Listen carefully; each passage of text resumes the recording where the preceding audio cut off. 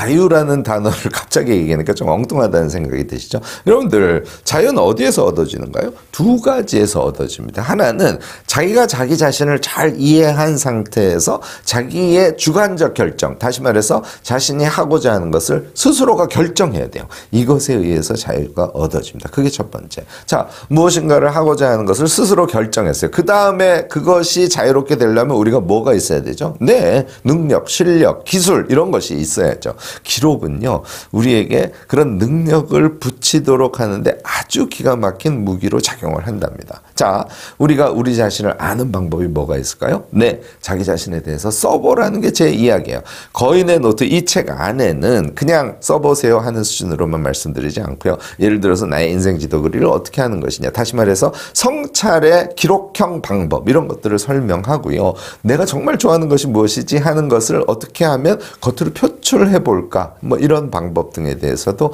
구체적으로 얘기를 하고 있습니다. 그러니까 거인의 노트 이 책 안에 들어가 있는 몇 가지 팁을 통해서 자기 자신이 누구고 자기가 무엇을 하고 싶어 하는지를 간취하시라 이런 얘기를 하고 싶은 거예요. 자, 이게 된다면 그 다음에 뭘 해야 된다고요? 네, 스킬, 기술, 능력 이것을 몸에 붙여야 우리는 자유로운 삶을 살아갈 수 있지 않습니까? 어떻게 한다고요? 끊임없이 자신의 현재 상태를 돌아보는 행위를 해야 돼요. 제가 일상 기록 같은 거 굉장히 중시하는데요. 내가 몇 시에서 몇 시 까지 뭘 했어? 한 줄로 그냥 쭉 남기는 거예요. 처음에는 시간 많이 걸릴 것 같죠. 이거 습관이 붙으면 전혀 시간이 들지 않습니다. 이렇게 해서 자기 자신을 되돌아보지 않습니까? 아, 내가 지금 핵심적으로 수련해야 될 것이 무엇인지 이런 게 보여요. 이게 기록에 의해서 구체적인 메타인지의 상태에 도달하는 길이죠.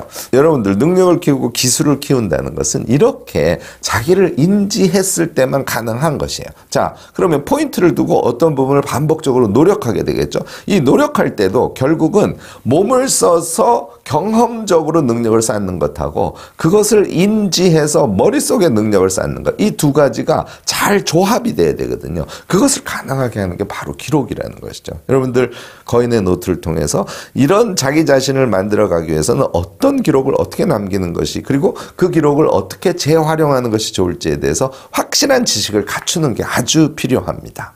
여러분들은 거인의 노트를 읽고 그것을 직접 실행함으로써 아 내가 좀 더 자유로운 인간에 가까워질 수 있구나 하는 것을 느끼시게 될 거예요.